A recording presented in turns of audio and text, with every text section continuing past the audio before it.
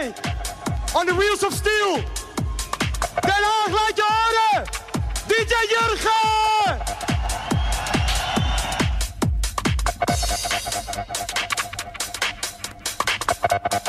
Thank